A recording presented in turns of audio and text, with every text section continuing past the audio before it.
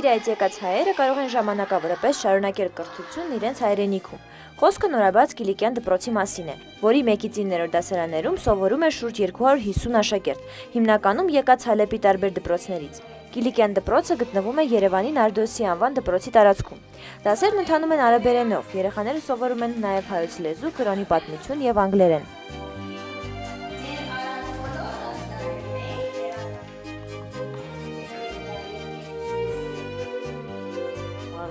ամեն ինչ արդեն օդար է,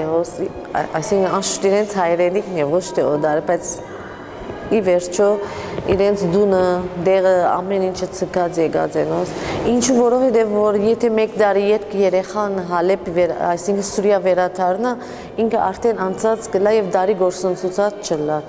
Երեխաները Հայաստանի իրենց դպրոցում շատ լավ են զգում, ոմանք նույնիսկ կուզեին հետագայում մնալ այստեղ եւ շարունակել կրթությունը հայկական դպրոցներում։ 14-ամյա Հովիկը շատ է ուզում շարունակել կրթությունը հայրենիքում եւ բժիշկ դառնալ։ Ես երկնա գուզեի, գուզեի հայկական դպրոցն ու սիրական դպրոցն, բայց հիմա սիրական դպրոց պիտի աջակեմ, քանի որ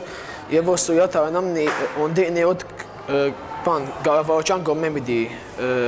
կնոջոնը ադոր համար ստիված բիլնամ, չէ թե ես կուզեի արգան դպրոցը յոտալ։ Հաջողած եմ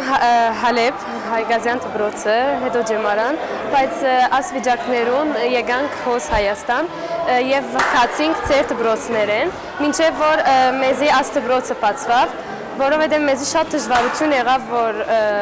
ծեր դպրոցներեն քացինք, որով մենք արև մտահայեր ենք խոսենք, դուք արևել հայեր են մենք շատ դժվարություն ունեցանք, ասելով շատ ուրախ եմ, որ աստծո բացվավ, շնորհակալություն գայտնեմ որ։ Տարբերություն բարձր դասարանցիների, փոքրիկներն ավելի շատ կուզեին վերադառնալ, բայց հայրենիքում մնալուն դեմ չեն։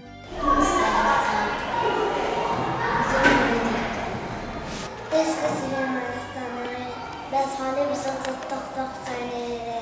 եւ որ լավանա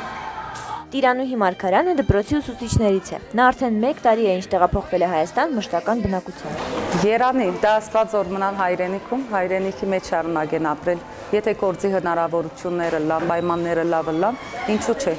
Ծնողները, որոնք նյութական անգայուն վիճակի մեջ են, կուզեն վերաթարնալ, եթե խաղաղությունը լավ Եթե նյութական պայմանները լավը լավ վստահ որ բոլորը պիտի